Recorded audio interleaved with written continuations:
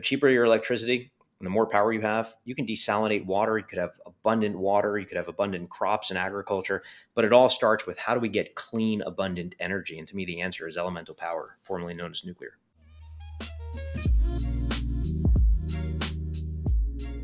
Thank you so much for uh, for taking the time. Um, so so excited to get to have this conversation, um, and a lot I want to cover with you. But you know, I thought maybe we could just start.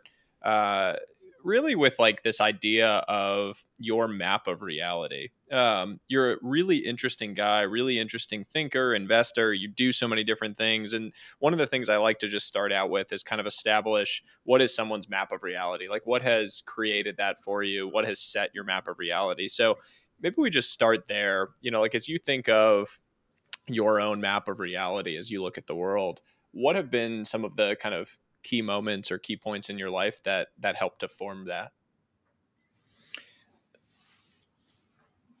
Some of this is post facto, so you know, staying intellectually honest, right? The the things that were informing me 20 years ago, or 15 years ago, or 10 years ago, at the time, I might have prescribed or ascribed something different. I have always been competitive. The competitive nature has uh, has always been, I think, born in one part confidence and one part insecurity. The confidence at times was I would see other people who either had more uh, materially or stability. So, you know, people that came from like a nuclear family or people that had wealth or people that traveled to fancy places or people that had cars um, and things that I materially did not have. And I would look at them and say, wait a second, they're not smart or they're not smarter than me. And so competitively believing in a system that was meritocratic, um, you know, that I should, that the smartest people should succeed or do better, that you should get more points, you get higher grades, that kind of stuff. So I think, I think part of me has always been hyper competitive in being confident that relative to certain other people, I felt I was more intelligent. And, um, and so I had a sort of um, chip on my shoulder from that uh, and just not being born into wealth. Um, and then the other piece of that, which is sort of a toxic combination if in the wrong hands and i think a productive one if in the right hands is you need confidence to be able to believe in yourself and go and do something and persuade other people you know that you can go do something but you also need insecurity. And so there's a ton of stuff that i was insecure about whether i was short or familial situation or not having money like those same things that i was confident about intrinsic ability relative to other people i was also insecure about. And so that to me was one blueprint that just sort of motivated me. Now in terms of like map of reality, you know, I don't know, the first 20 years of your life, more or less, you're being indoctrinated by everything that you're learning. And then I think it was probably around 13 that I questioned, uh, you know, I basically took my bar mitzvah money and ran. I was raised Jewish, but I'm atheist. And none of that stuff made sense. That gave me the confidence to basically just start questioning authority of all kind.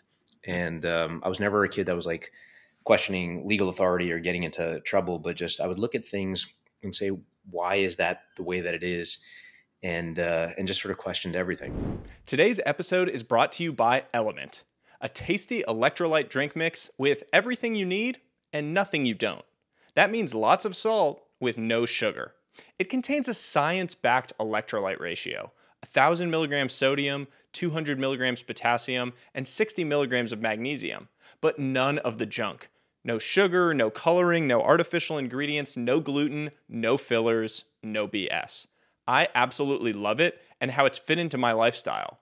Whether you're keto, low carb, paleo, or just want to feel better and more active, LMNT is the drink for you. I drink it after an intense workout to replenish my electrolytes. I also drink it after a few too many whiskeys late at night.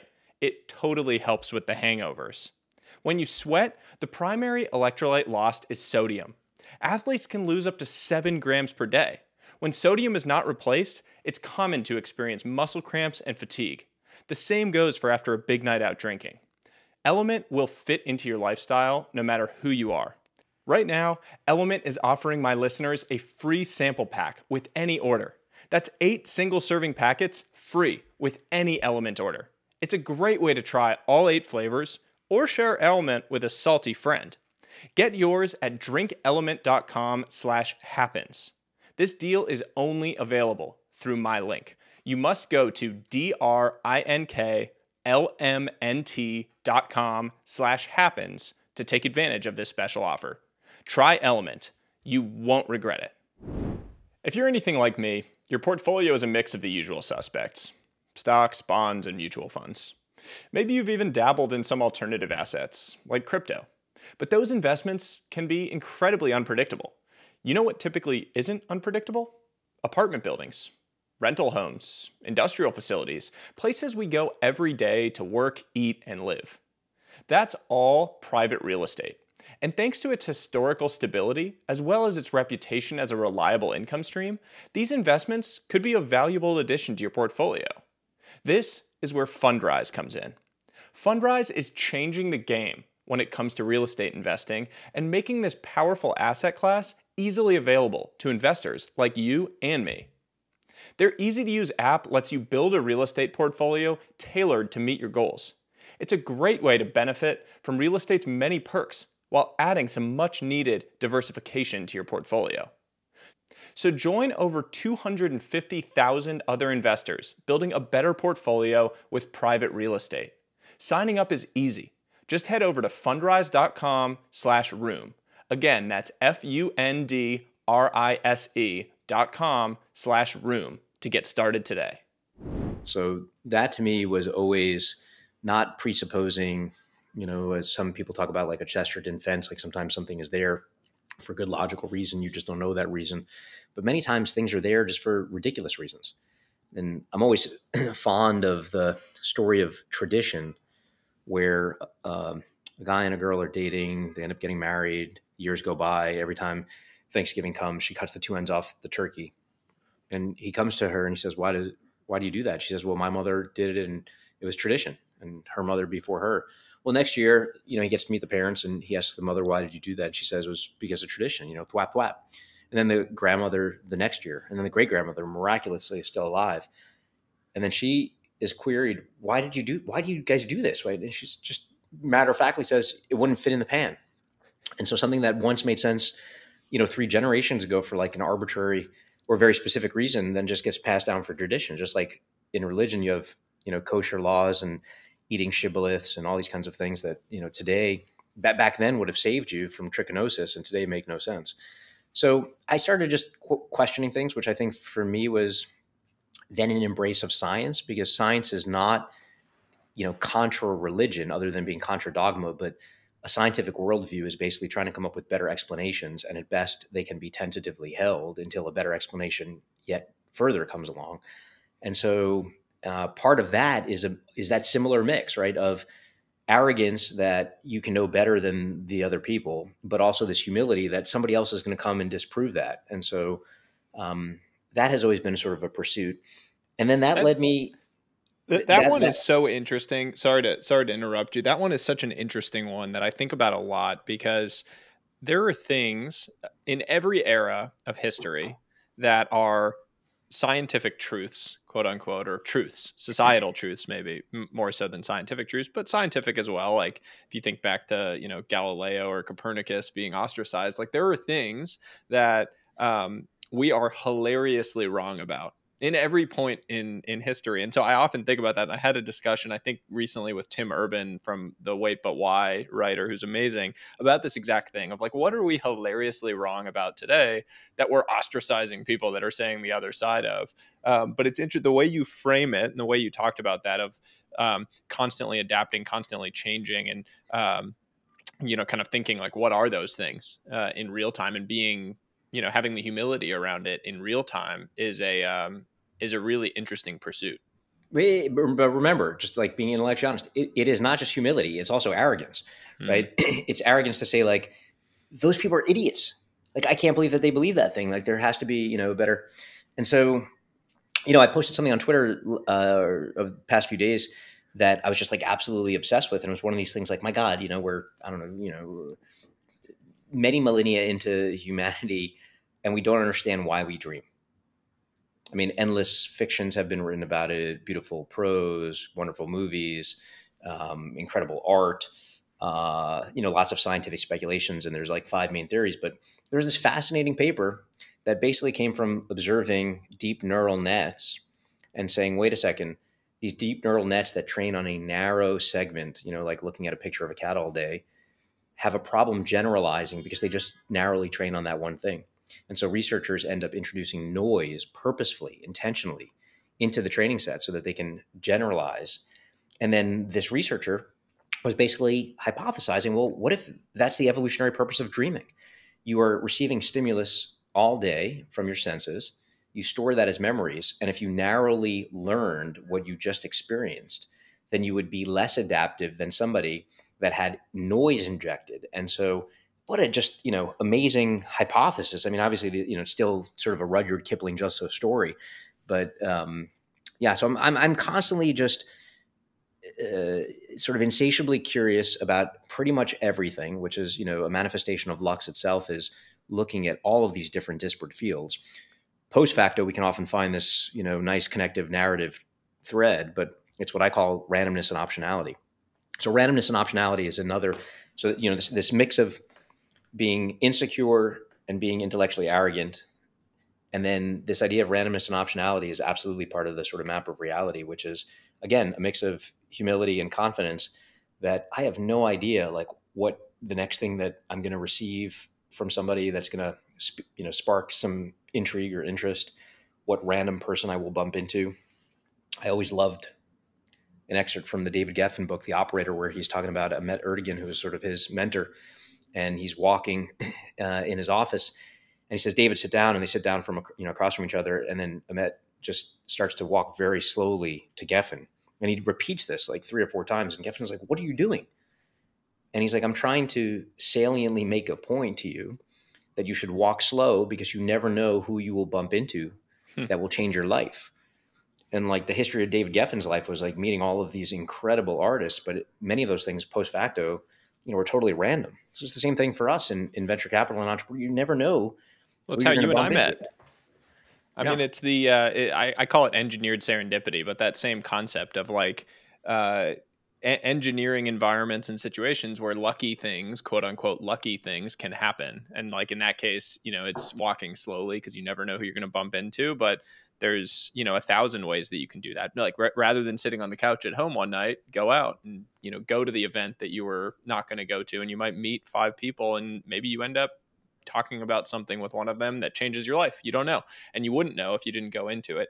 Um, the dream thing you said is fascinating. So the dream state uh, hypothesis i think is so fascinating because more broadly it just makes sense right? That like it's sort of the whole idea of like Taleb's idea of anti-fragility. Uh, you like inject chaos. Like if humans are kind of pro-entropic, uh, you know, in our ability to benefit from chaos, like that injection of chaos in the form of noise, uh, intellectual noise, whatever it might be, is beneficial to your ability to adapt and become more adaptable during your waking state.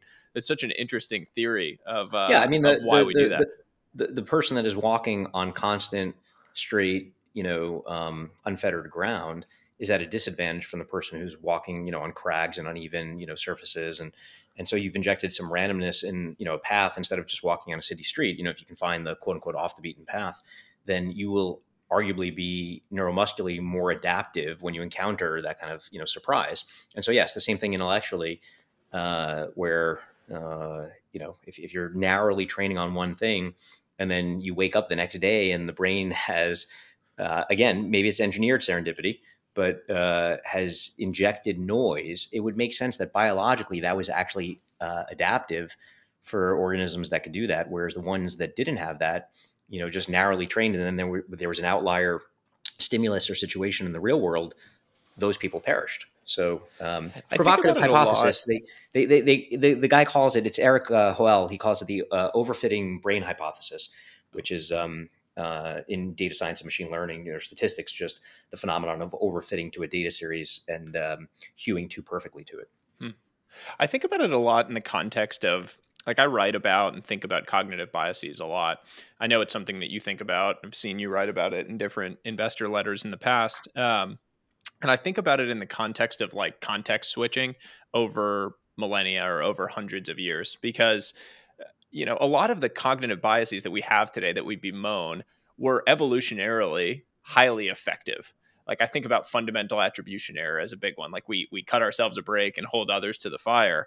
that was probably a good thing that kept you alive. Like if someone did something that was kind of an asshole move, and then you were like, "Hey, you're an asshole. I'm never going to talk to you again, or go near you, or and just completely avoid you," probably kept you alive in certain instances because maybe on the off chance that person was thinking about killing you, you would have avoided them.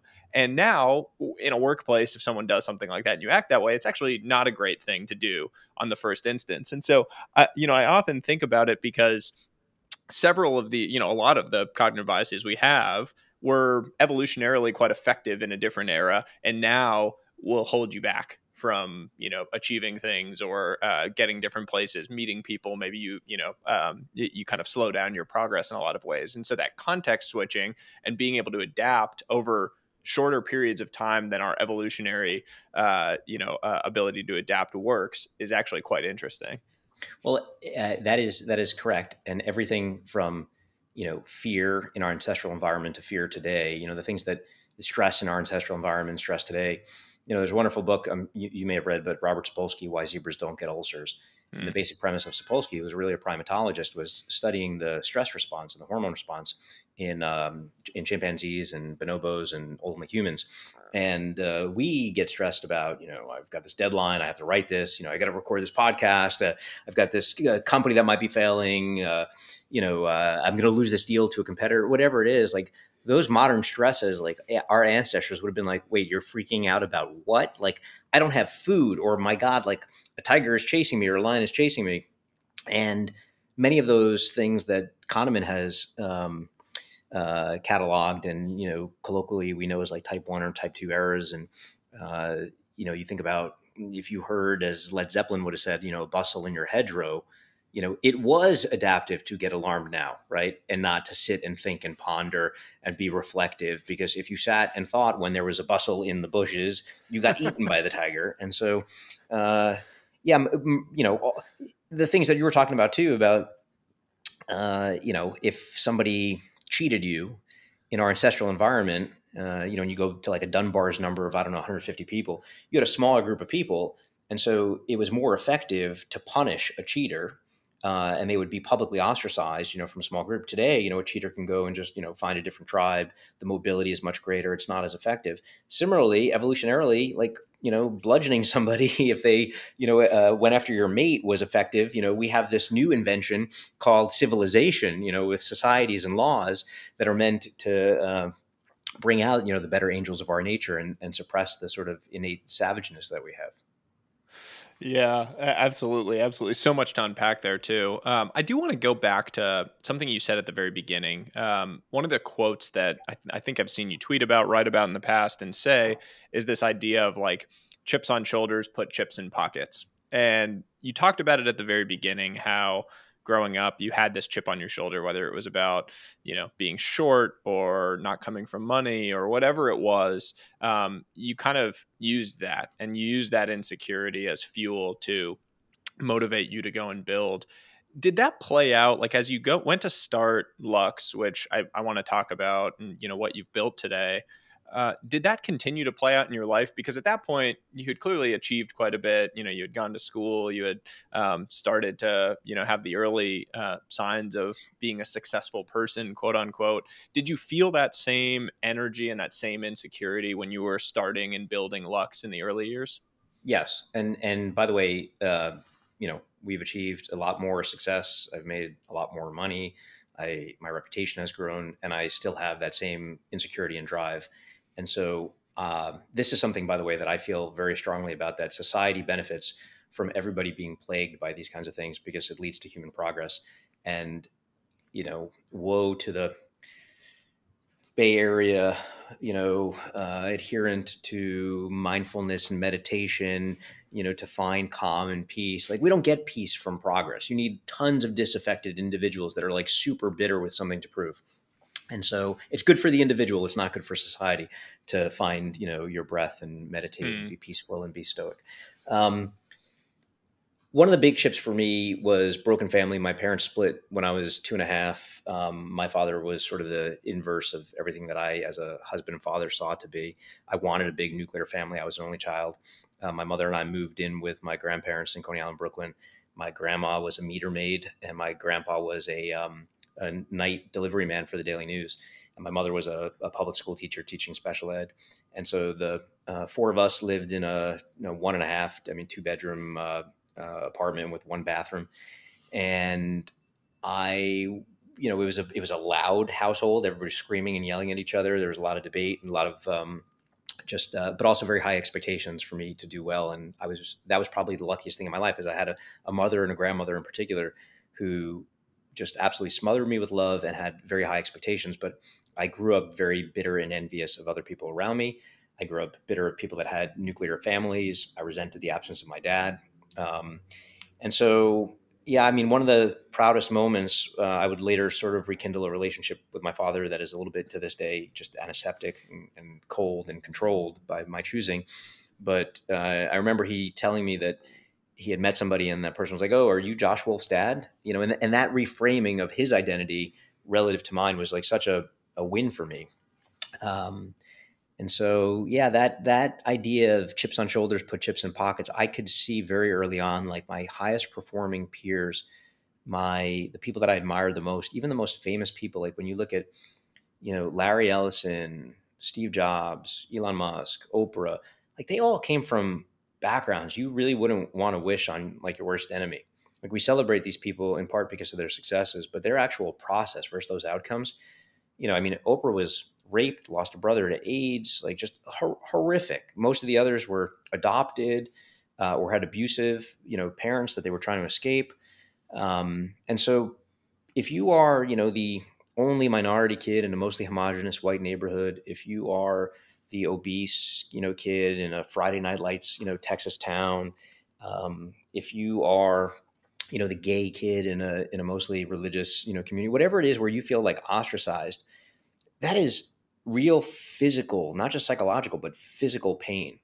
And either you get fortunate that you find a mentor or somebody that is an escape valve or a group of people um, that might be similar dis- disaffected, uh, similarly disaffected, or, or you know they're sort of misfits and outcasts, and that oftentimes give people the permission to continue to be these outsiders and embrace that identity. Sometimes you know it goes deviant and and really negative, and sometimes it has this fuel that I just have found in those people. It never gets put out. And that fuel is basically, I'll show them. It is looking at the people that are in the masses or the mainstream or the popular kids and basically just saying, like, I will show them. And it's, it's, it started, you know, I mean, it started forever ago, but in modern times, it was Steve Jobs and Bill Gates. It was the revenge of the nerds. You know, it was the rise of the technology guy as a, uh, as, as a hero.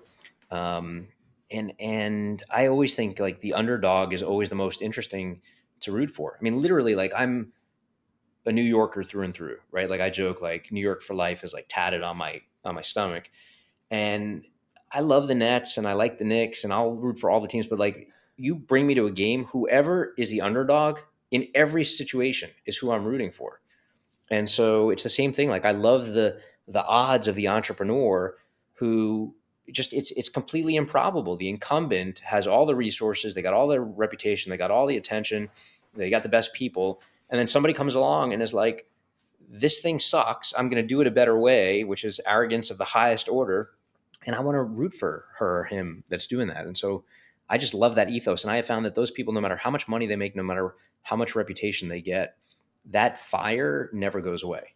And and sometimes they lead productive lives and have good families. It's what I hope I'm doing. And other times, you know, society, like, I mean, look at Steve Jobs. And I used to have this debate with one of my best friends. Like Steve Jobs is celebrated by all of these strangers, but hated by the people that loved, that were supposed to, you know, he was supposed to love the most. And so there's the, there are these weird paradoxes in that. Um, and, and I, I want to be loved by the people, you know, that I love the most. Um, but I'm also, you know, petty and vainglorious and jealous and competitively motivated, and I want to be celebrated by other people reputationally. You're a human. Yeah. All of those things that you just said. I mean, yeah. Uh, uh, so so what actually motivates you? Uh, uh, you know, you, you mentioned you're an atheist.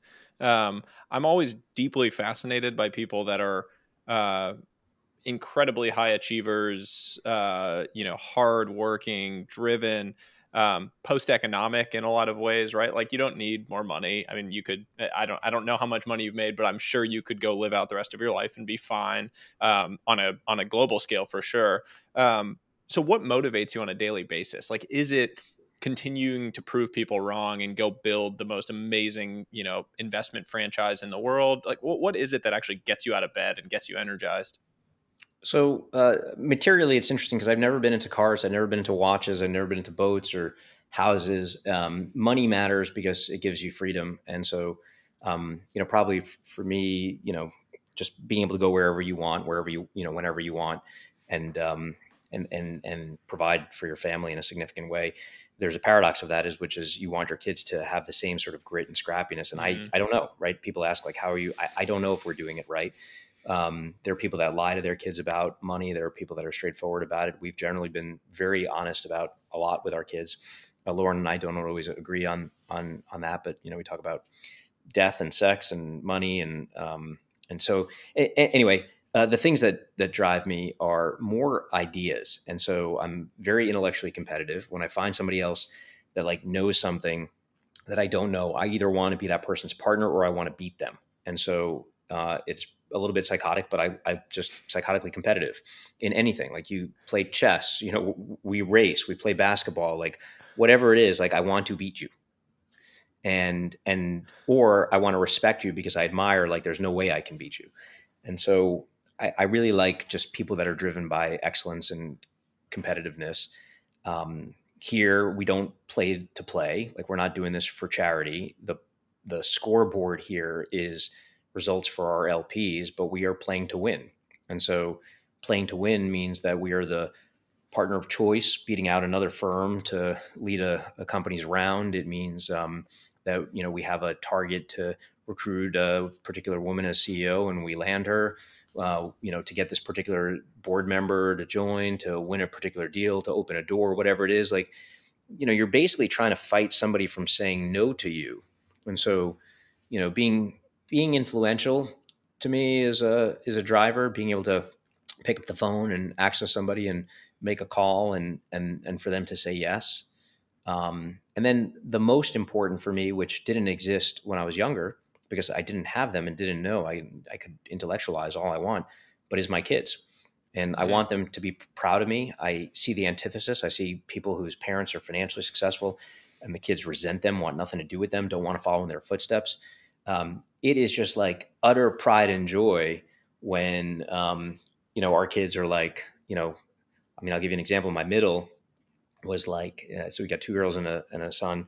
And my middle was like dad i want to do what you do because she's very stem oriented good time on task totally into engineering. She's like you know i love biology and robotics and we make stuff on 3d printers. And uh, and then a few weeks ago she actually came to me. She said you know dad i, I I thought I wanted to do what you did, but um, you know, I was talking to mom, and it took you almost 20 years to make four billion dollars. I'm like, no, no, no, I didn't make four billion dollars. We managed four billion. And she's like, but it only took mom like two and a half or three years to make three billion. I'm like, no, no, no. She, oh, okay, forget it. She learned about leverage. yeah. So, so she, she thinks mom's more successful right now. And, and so she wants to do what mom's doing. But, um, but just making the kids proud. Um, I love, and it's actually a lens that I look through when we fund companies is this something that is going to make the history books? Is this something that somebody's going to look at and be like, my dad funded that? Mm-hmm. My dad put that guy or girl in business. Like that to me feels just super meaningful. So and cool. So, you know, the three things you could really make you can make money, and that can lead to gratifying things if you spend it wisely, whether it's philanthropic. I started a school in Coney Island where I came from, driven by some personal principles wanting to root for the underdog and make them competitive against the kids that were born in Greenwich, Connecticut with a leg up. Wow. And you can make money, you can make meaning, and you can make memories. And the memories piece for my kid is, you know, adds to the second one, which is meaning. And then funding people that are literally inventing the future and coming up with the craziest shit that you can imagine is super meaningful. So I want to get into that last point uh, because you guys are doing something so ambitious. I mean, as an investment fund, doing something that just looks so different and ambitious relative to most. I mean, when I think of venture capital, and I assume most people that are listening to this, when they think of venture capital, they think of people like, you know, funding software companies and and sort of like you know when you think of atoms and bits funding the bits um, all of these you know technology startups etc when you look at the lux portfolio you see this unbelievable array of like seemingly ridiculous things uh, you know, like a, a sail drone, like you know, a massive drone uh, sailboat, uh, all of these incredible space related companies. I mean, it is truly remarkable. I would highly recommend people go check out luxcapital.com and go to the companies tab and just go tick through it. But it is this amazing physical infrastructure, big swing, um, unbelievable things in the atoms world. What inspired that focus? Has it been a deliberate focus? And what, what is getting you most excited to be investing in the world of atoms? So historically, it started with um, that same competitive spirit, looking at what everybody else was looking at. And when we started Lux, it was coming off of the last, well, you know, 20 years ago now, um, dot com boom bust, which was you know optical networking and dot coms, and um, nobody was really uh, funding the physical and material sciences. So I was like, look, the two areas that actually 20 years ago intrigued me the most were artificial intelligence uh, and its then conception. This was pre CUDA, pre NVIDIA pre GPUs, pre deep neural nets, uh, pre anything that would you know lead to insights for novel researchers on dreaming, and and nanotech. And nanotech was interesting because that was my first purview of really being able to delineate between the doers and the bluffers. There was a whole cohort of people in nanotech that were like these sci-fi fringe people, these extropians, and um, I mean, they they just like the stuff that they were talking about was like out of science fiction, but it just didn't obey the laws of physics. But at the same meetings, you would have people who were like Nobel Prize winner Rick Smalley from Rice University, who discovered the buckyball, the fullerene carbon nanotubes. And these people were just like way more scientifically credible. And what was interesting at the time back then was they were chemists, material scientists, physicists, biologists, and they started to rename what they were doing nanotech because it was getting money from the government. And so I remember writing this piece a little bit cynically uh, for Forbes again almost 20 years ago that you know a nano rose by any other name is still a rose, but that became the nomenclature, and it led us into this field where there's these incredible serious scientists distinct from the BS people that are like speculating about the future, which are important. And they were actually at the same meeting, but you don't want to fund these people and you do want to fund these. And these people were at the intersection of disciplines. Uh, they were computer scientists that were doing uh, in silico modeling, so using a computer to model new materials so that you could actually then produce it, you know, on a on a on a on a wet bench. And then during that process, interestingly, I met a, a guy, Larry Bock, and Larry had a tremendous impact. And it's like one of these things, like I don't know, like if there was a different person that I would have met that that um, you know could have shaped me. I can't run the counterfactual, but Larry was a serial entrepreneur. He was employee number 50 at Genentech. He mostly focused on biotech through most of his career, but then ended up founding a company called Illumina, which we now know as the mm. prominent gene sequencer. Illumina was not focused on gene sequencing when they first started. They were doing like chemical sensing and other kind of random stuff. That was the intersection of like microfluidics that were based on a microchip and biotech and um, and then ultimately genetics. And that synthesis at the intersection of disciplines was something that Larry was interested in because other people weren't. And so Larry had founded this company, Nanosys, and uh, he had gone to all these universities and government labs. He had in licensed intellectual property from MIT, Harvard, Berkeley, and elsewhere. And he and I were both on the circuit speaking at these same conferences. And he was super credible, as people would later describe him. He was this mensch on a mission. He was probably 10 or 12 years older than me, maybe, maybe a bit more.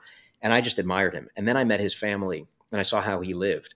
And this was a guy who had made hundreds of millions of dollars and had founded 17 companies from scratch, taken 14 of them public, cumulative market cap over $50 billion. Uh, Illumina, Pharmacopoeia, uh, Ida and Athena, Neurocrine, just incredible. Oh and God.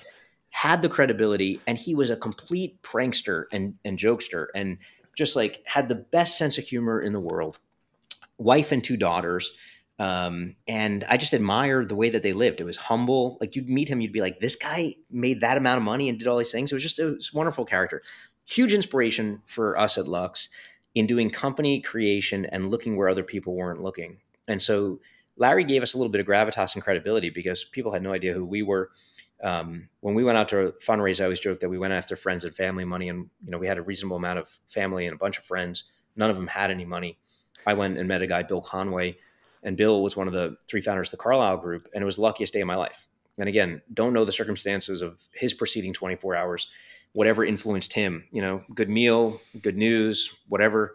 meet him, and he's like, "I hope you make a billion. And you know, mm-hmm. to this day, he is our patron saint. I just saw him here at Lux last week. He's just an absolutely incredible guy. He really invested the money. He was like the chief investment officer for Carlyle. Dave Rubenstein's the more, the more famous one who raised all the money. And Bill asked us the two most important questions: Why should you exist? Why does the world need an incremental venture fund? And what's going to be your competitive advantage? And and we spent a lot of time thinking about that. Ended up, you know, building the firm really uh, based on answering those questions. And in that process, met this other guy, Larry Bock, uh, that I was just describing.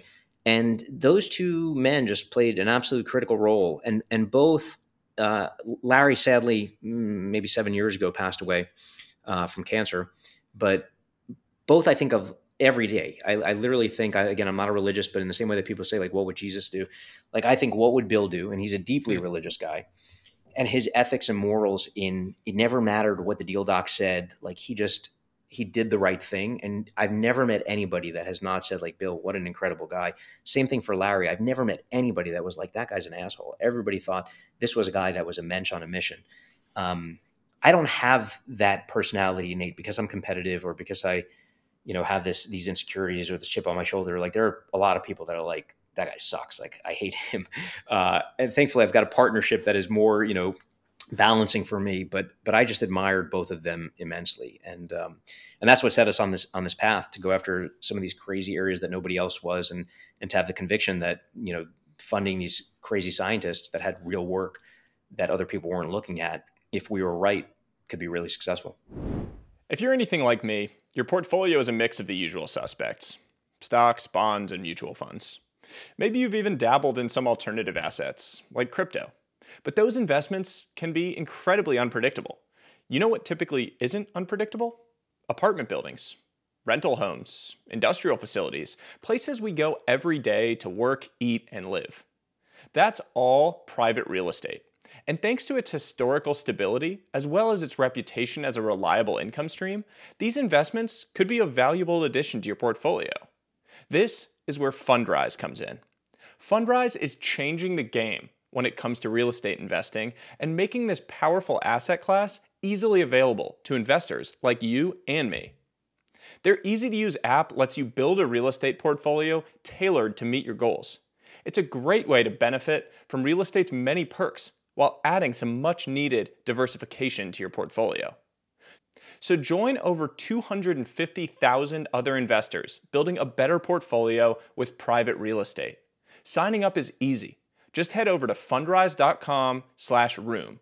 Again, that's F-U-N-D-R-I-S-E dot com slash room to get started today. Today's episode is brought to you by LMNT, a tasty electrolyte drink mix with everything you need and nothing you don't. That means lots of salt with no sugar. It contains a science-backed electrolyte ratio, 1,000 milligrams sodium, 200 milligrams potassium, and 60 milligrams of magnesium – but none of the junk. No sugar, no coloring, no artificial ingredients, no gluten, no fillers, no BS. I absolutely love it and how it's fit into my lifestyle. Whether you're keto, low carb, paleo, or just want to feel better and more active, LMNT is the drink for you. I drink it after an intense workout to replenish my electrolytes. I also drink it after a few too many whiskeys late at night. It totally helps with the hangovers. When you sweat, the primary electrolyte lost is sodium. Athletes can lose up to 7 grams per day. When sodium is not replaced, it's common to experience muscle cramps and fatigue. The same goes for after a big night out drinking. LMNT will fit into your lifestyle no matter who you are. Right now, LMNT is offering my listeners a free sample pack with any order. That's eight single serving packets free with any LMNT order. It's a great way to try all eight flavors or share LMNT with a salty friend. Get yours at drinklmnt.com slash happens. This deal is only available through my link. You must go to D-R-I-N-K-L-M-N-T.com slash happens to take advantage of this special offer. Try LMNT. You won't regret it. Well, for what it's worth, I have never heard anyone say anything but glowing things about you. So I, I, push can, back I on that one piece of you. I, I, haven't talked to Elon Musk. He might not like you, uh, but uh, but other than him, I've never heard anyone say a negative thing about you. Um, I appreciate and, it. And no, I mean, I think I have learned an immense amount from you from just being around you a little bit and reading your work. So I, I thank you on behalf of of everyone who has had a similar experience to me. Um, you know, one of the things that I've seen jump out recently from your work, you know, as as an extension of what we were just talking about, and some of your big bold bets for the future, is this whole idea of nuclear energy and the future and where energy creation is going. And you hit on something that is a is a really uh, good lead in to that point, which was the nanotechnology point, where you kind of talked about how it became a branding thing. Like nano became this positive branding thing that all of a sudden accelerated uh, capital coming into that space. And I think about it now in the context of what you've been referring to as elemental energy, elemental power, uh, and this rebranding that needs to take place around nuclear. So, can we talk a little bit about that and what is getting you excited about that space and the potential for a rebrand to accelerate it?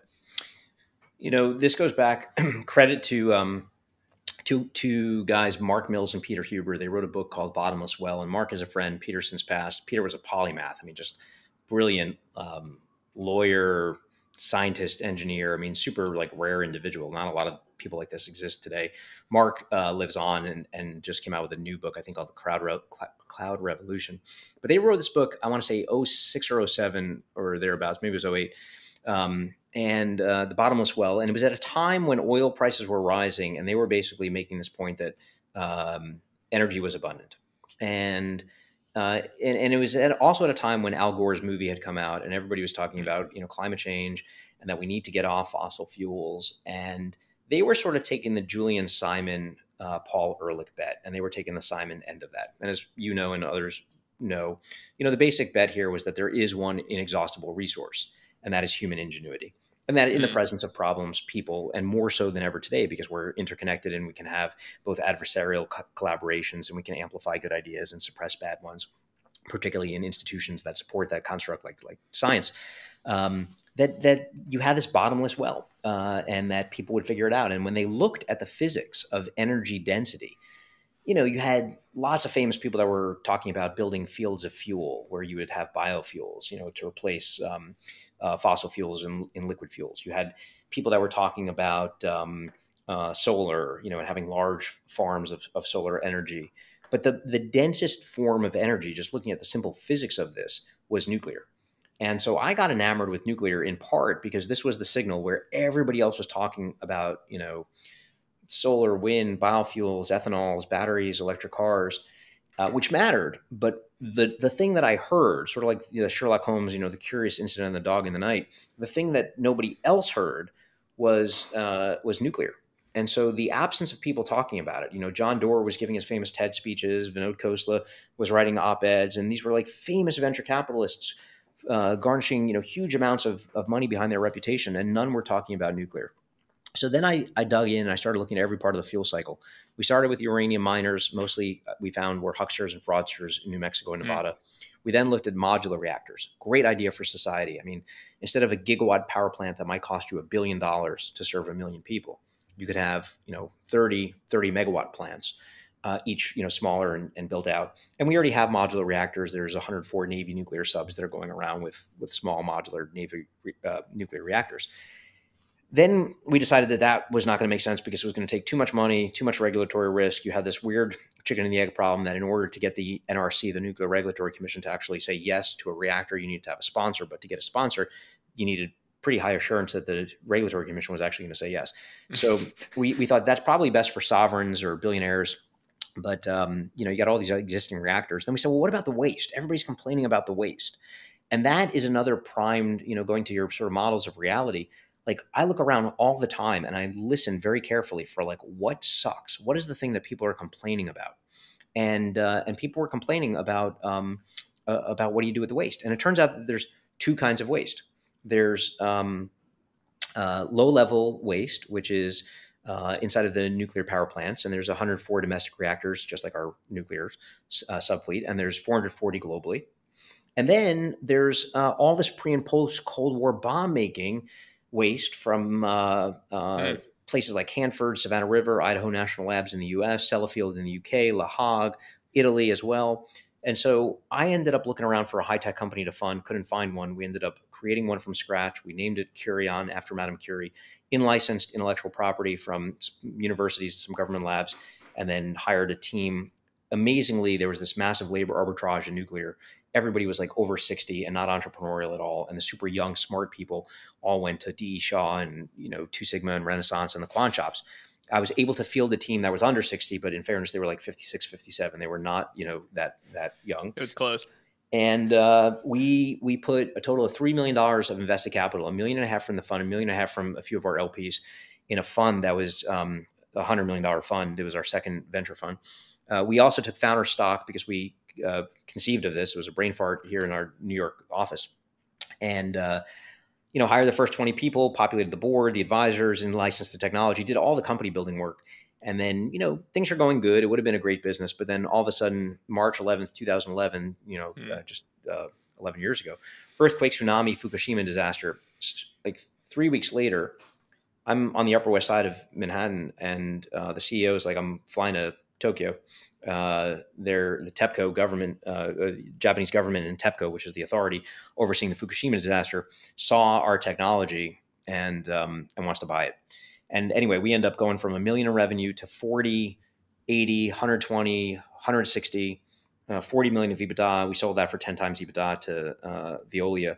Just an amazing experience of truly matter that matters. I mean, this thing that was just conceived in our New York office ended up removing 99% of the radiation from the Fukushima disaster, particularly around cesium and strontium. And it's crazy the technology, without going into it, between material science and isotope separation and robots and chemistry, and it's just absolutely wild. We we had a giant air sci-fi shit. It is and unbelievable. We, we, had to spend a million dollars a day just to rent a, a giant Ukrainian air, airplane, many of which have actually been blown up during this current war. Oh gosh, by Russia. That um, we're, we're shipping our our crazy engineered systems over there. Anyway. Uh, that was very gratifying. And so I really was just absolutely obsessed with nuclear. And in particular, what I studied was that in 1979, you had Three Mile Island in the US. This was a disaster, you know, little d disaster versus Chernobyl in the 80s, mm-hmm. which was a certifiable disaster. Uh, there was no radiation leaks. There was nobody that died in Three Mile Island, but two things happened. Number one, there was a movie called The China Syndrome in 1979 that came out. Movies are very powerful for influencing people and it negatively influenced people against nuclear. The third thing that happened was a no nukes concert in 1979, which was really important because they were really protesting nuclear war.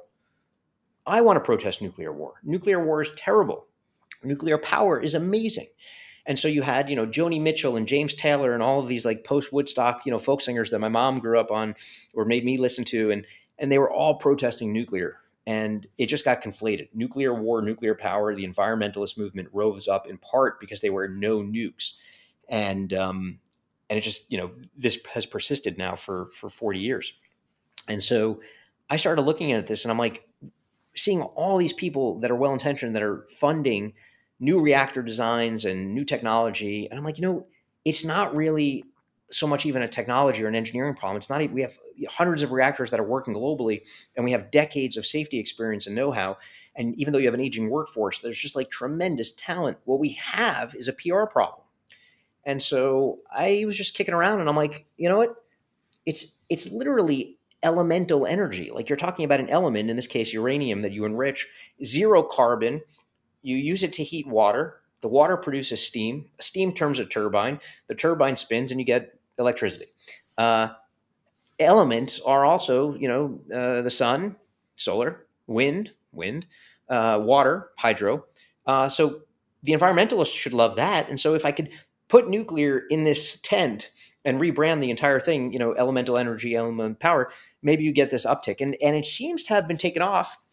Last week, the Washington Post had a, a a feature piece on it. And so, saw that. You know, if if your name ha- made you a new friend in Jeff Bezos too. Yeah. Right? I saw that he followed you on Twitter. That was great. Help help spread the word. You know, elemental energy. Uh, there it is. I mean, it's a fascinating case study of like storytelling in action, right? Like a, a story perpetuates so much more than the reality. And with nuclear, I mean, it's just people as soon as they hear nuclear they think about mushroom clouds and they think about chernobyl and they think about disasters. They don't think about the potential for you know small amounts of water to literally provide the energy an energy source for the entire country. Um, and they don't think about the potential for this to completely transform how we think about the survival of humanity over the next you know several centuries or millennia right? If like elemental about, yeah. if elemental energy or nuclear power were discovered today people would be running around being like, "Oh my God, this is magic! This is the most incredible thing." It would be on every. It would be you know Times Person of the Year would be the atom. Uh, I mean, it would just be the most magical thing. And you are correct that if you have cheap electricity, unlike the degrowth people that want to send us into the dark ages, the cheaper your electricity and the more power you have, you can desalinate water. You could have abundant water. You could have abundant crops and agriculture. But it all starts with how do we get clean, abundant energy? And to me, the answer is elemental power, formerly known as nuclear. And it's interesting too when you just think about, um, you know, geopolitically as well, that the impact that this might have. If you know, if one country, uh, you know, and and honestly, the U.S. Like if if the U.S. is continues to be obstinate about this, we will literally fall behind the rest of the world, and you will see the global order dramatically shift. Like if China decides to be really proactive, if India decides to be really proactive, if other large global powers decide to be proactive about this and progressive about it, and the U.S. gets held back by you know NIMBYism and and whatnot, there will be a massive shift in the geopolitical order in the next really i mean 10 15 20 years well it, it already has happened and so china is building dozens of nuclear power plants and they're also building despite their jawboning on green enormous numbers of coal plants but they are mm. focused on how do we get low cost energy for our people they're also looking into you know uh, pakistan and uh, other regions where they're basically making sure that they capture hydro. Uh, but the, the, geopolitical order did get reshaped in part because you had Germany, which was one of the few nuclear powers alongside France. You had the rise of the German uh, Green Party over the past 15 years. If you were Putin, the smartest thing that you could do, the lowest cost, highest leverage thing that you could do to deliver Europe to you who controls an enormous amount of gas for the world as a major exporter, particularly to uh, Europe, providing over 25% of their electricity needs, is just get the Green Party to shut down nuclear. And that's literally what they did. You had an engineer as chancellor in Merkel, and the political opposition to nuclear grew and grew and was fomented. Let's say it was mostly organic and mostly domestic, with a tinge of foreign information operations to foment it that's mm. all you had to do. And Germany started shutting down their nuclear power plants.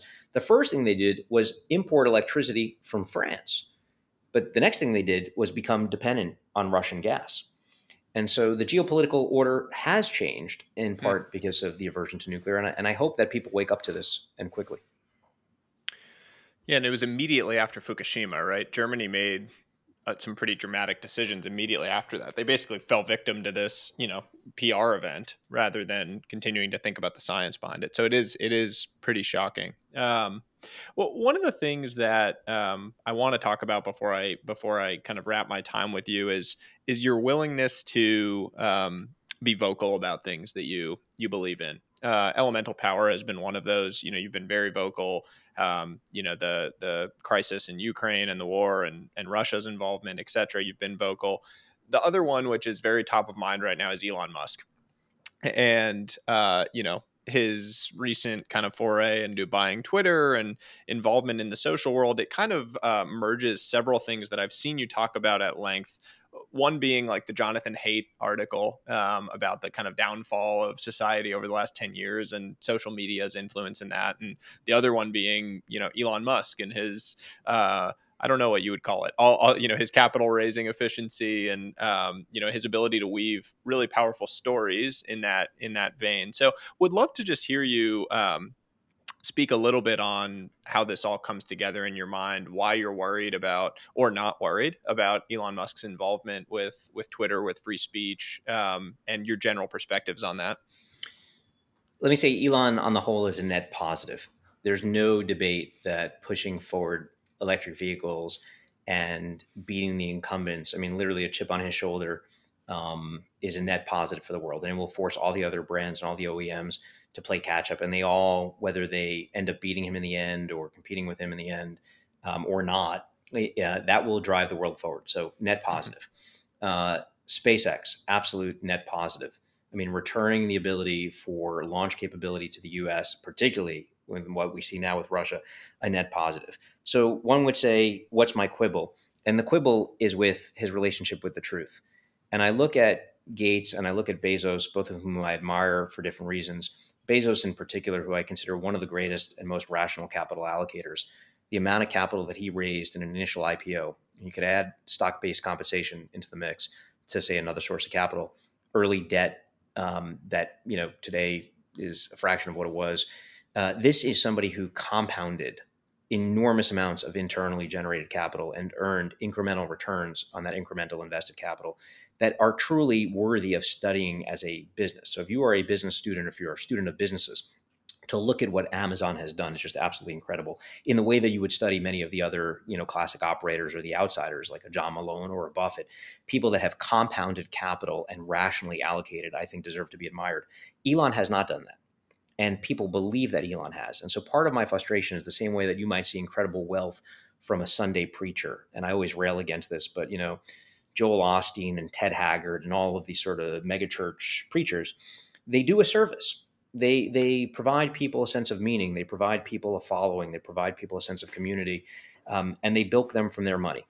Okay, and so there's just such a and maybe this is growing up in Coney Island, squinty eyed, and watching the carnival barkers and you know run their game and con people. But I see so many people conned and fleeced, and so far it has been working because the stock has been going up.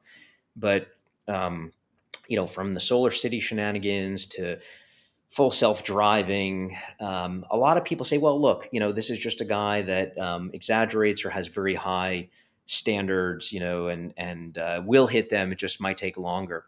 And and there's something that to me has a witting misleading of people that he's just been exceptionally good at. He's one of the great storytellers. He's created an absolute cult following. Anytime you criticize, you know, the fanboys come out in mass. It's it's in in fact protecting not only him but in many cases their identity as being a fan or associate.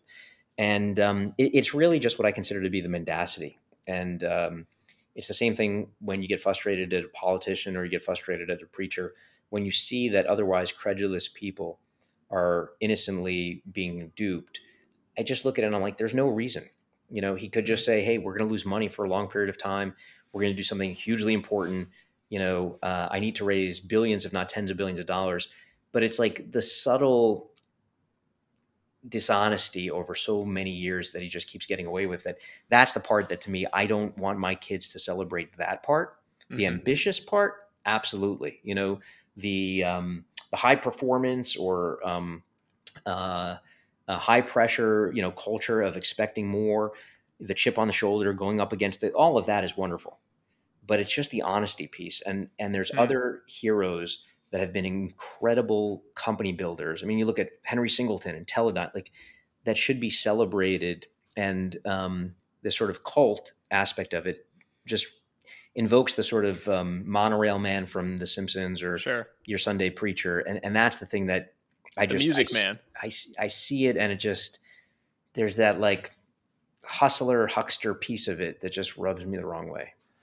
Yeah, I guess the question is I mean, you, you alluded to it at the very beginning, the net positive of some of the things, um, you know, with the electrification of vehicles, with SpaceX and what it's done for the space economy. Um, you know, all of these different projects he takes on. The question I guess I would have in the back of my mind is net of everything, assuming, you know, assuming there is negative intent or there's, you know, open dishonesty in his own mind around things he's saying, is it a net positive in the aggregate? behind all of it that you know people are inspired to go take ambitious swings because they see him and the wealth he's accumulated you know an incremental entrepreneur is born uh, on the back of his boundless you know uh, kind of uh, excitement and and energy around these things and does that offset the negatives of all of it the people who've been screwed over the people who bought doge at a dollar or whatever the hell it went to you know on the back of his pumping around it um, that's the question I guess I would, I, I, and I don't have an answer to it. Actually. I, I don't know the answer. I've been a fascinated observer, but it's interesting. You you can point to you know Jobs as well, who is renowned for a reality distortion field, you know, and all kinds of sort of tricks when he would go out on stage for products that maybe weren't fully functional or didn't exist yet. We've glamorized that as a society, huh? I mean, yeah. ever since Jobs, like the reality distortion field is a weird thing to glamorize in a in, in a sense. Well, um, it is, you know, like but, even but, Elizabeth but, Holmes but but it doesn't exist. It doesn't exist in a siloed vacuum. It can only exist because of the belief of people. And so, you know, people want to believe in big, ambitious things, and that's that's a beautiful thing. um, people wanted to believe that you know this this phone or the capability that Jobs was showing off would exist, and so um, you know, people want to believe that we're going to go to Mars. Uh, people want to believe that full self driving is going to exist. And so there's a part where he's just selling people what they want to believe. And so can you fault him for that? And there's just this subtle line between the, again, the honesty mm. and the humility of just saying, like, you know, we're not there yet, but we're going to get there is so different than like, this already exists, you know, send your money. And, you know, I think history will probably show that it's a it's a it's a distinction or you know difference with, with, without a distinction. To me, it's just a line of like it's like somebody looking at the floorboards when they're telling you, you know, uh, you know, you mentioned Twitter, like the free. I don't believe that the Twitter thing is at all about free speech. Hmm. Yeah, and it's a, it's a um, it's a line, as you said, and it's like it's a very very fine line, and you could see it if you like find that archetype of personality, you can see it cut one of two ways and there's really no middle ground and in the end it falls on one side of the line one way or another so yeah i mean it will be interesting to see the next you know 5 10 15 years how this all plays out i mean i think the twitter thing frankly if i was a tesla shareholder i'd be pissed uh, because like taking out a twelve and a half million dollar margin loan, I mean, I spent the first seven think, years of my think, career in private just, equity. It's not I think fun. He just announced today that he's looking at other financing packages so that he doesn't have to mortgage as much, you know, of his Tesla stake. Yeah. Um, I mean, I'm assuming there's a bunch of private equity funds and large institutional investors who would get on board with a, uh, you know, private Twitter plan um, if it means that they can do, you know, take bigger swings around monetization and get away from the traditional ad model. So may- maybe something will work out there. But man, look, anything is possible. You could believe. I don't know what the implied odds right now on the merger are above this was, but you know, it was down to like 85% likelihood that the deal was, you know, which is still very high, but 15% mm-hmm. Probability that it wasn't going to actually happen. You know, he has sold eight and a half billion dollars of stock. This is a wonderful way, just like his Twitter poll before, to sell stock to get out of uh, Twitter. Now, you could, I mean, sorry, to get out of Tesla. So, again, He's a master of diversion, right? You don't. I mean, the, the legerdemain and the magic tricks and the illusion and the prestige is it's it's it's it's admirably done. If you you know are, are a student of magicians and illusion, like it, it's it it might deserve criticism for the dishonesty. It's sort of the difference, by the way, between Penn and Teller and David Blaine. David Blaine hmm. will actually tell you that what he's doing is real, and uh, Penn and Teller will show you with clear cups and balls that they are completely tricking you. Okay. Mm-hmm. And, and I just have more admiration for the Penn and Teller approach to uh, magic or, or the Bezos approach to the magic of technology than I do the Elon approach. So again, to me, it's a, it's a, very big distinction.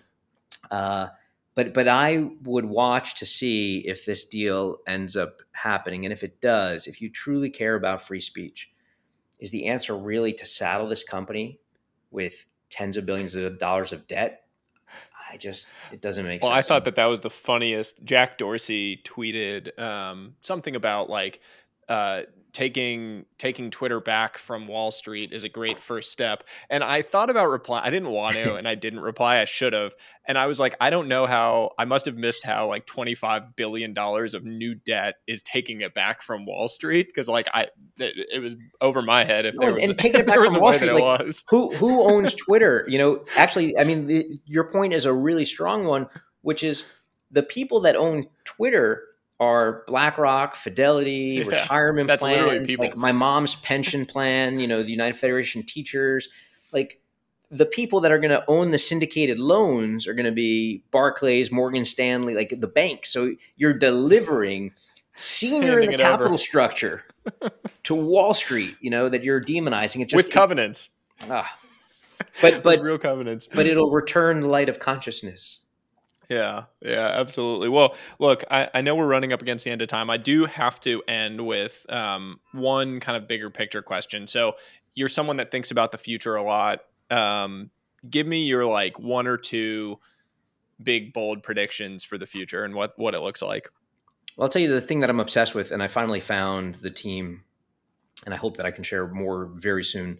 But you know, you know, I've talked about publicly, which is actually a strategy, right? I throw theses out there the digitization of human scent is coming.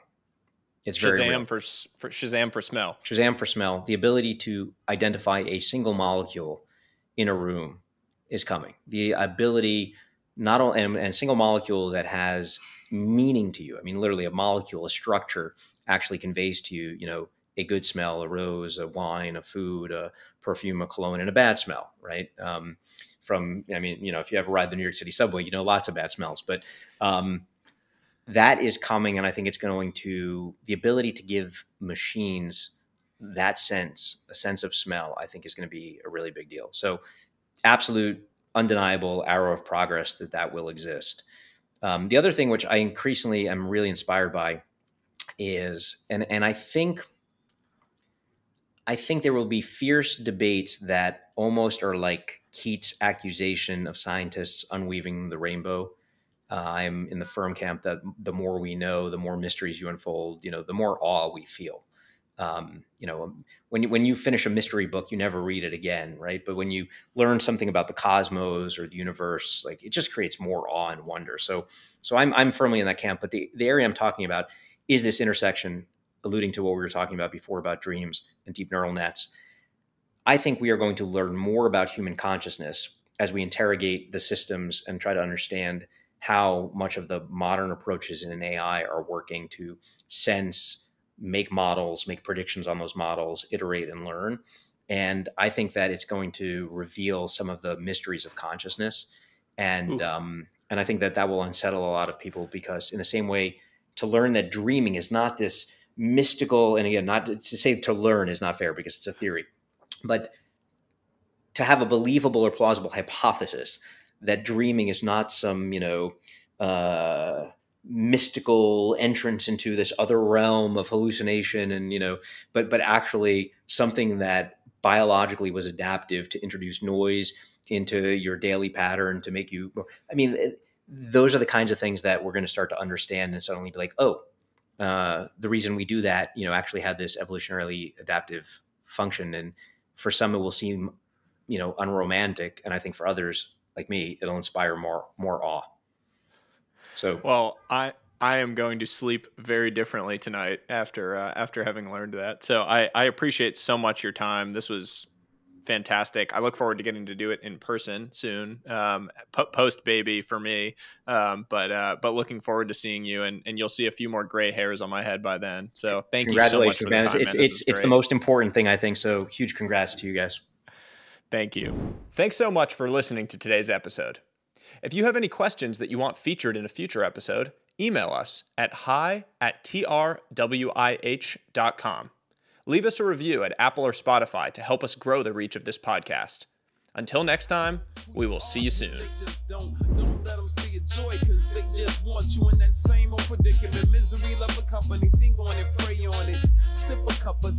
Never let the world be broken in the borders.